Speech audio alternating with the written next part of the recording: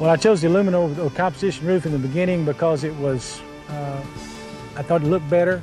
It, the appearance was more appealing. It looked more like a, a shake shingle instead of a, a, piece of asphalt laying on top of the roof.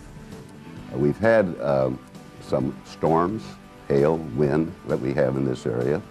There's been no leaks, no problem at all with the roof, and we still love the looks of the roof. Well, we, we definitely feel like that, that the, the perfection look, uh, and in fact, this was the thing that probably uh, surprised us more than anything, how it really added an expensive look to our home. We were just shocked over that.